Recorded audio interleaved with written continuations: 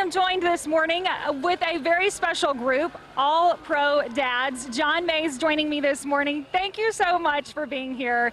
Tell us what your mission is. This is one of the coolest things I've heard of in a while. Well, thank you for having us. Our purpose is to build relationships that inspire academic excellence, character, and success in our students, families, and communities. We started with a group of four dads about three years ago, and we have exploded to over 1,300 dads that uh, support our community, support our, our constituents here, our, our students from pre-K all the way up to seniors. We're everywhere. Uh, some of our leaders are, are behind me. Uh, we love what we do. It's an incredible organization. Uh, we're the largest All Pro Dads uh, chapter uh, in the country. We we're part of a national group, and we we just kind of set the bar a little higher than than I believe most groups, just simply because we're such a community-oriented. We love our students, we love our families, we love our community.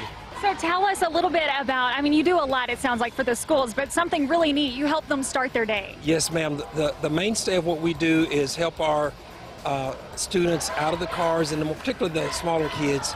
Uh, we give them pos positive affirmation to start their day. Hey, have a great day, do something spectacular.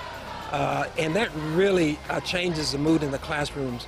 The feedback we've gotten from our administrators is that when there's a dad, uh, positive male uh, role model influence in the, uh, in those kids' lives. Not that we, we try to replace a dad or anything like that, but, but we just uh, make sure that they know there are some dads behind them as they start their day. Absolutely. I, I, think of what this could do if it just continues to spread what you guys are doing. And you say you've got the community support behind you too, which is always important. Yes, ma'am. Our mayor, our city manager, uh, many of our uh, government leaders, our, our school administrators. We have tremendous support from our school district, our athletic director, uh, we're, we're at the football games uh, uh, helping out with crowd control. Uh, whenever they see an All-Pro Dad in an All-Pro Dad shirt, uh, they know us. Uh, three years ago, that wasn't the case. You know, who are you? But now they know us. We appreciate it, and we appreciate serving our community. It's a tremendous opportunity that we've been given.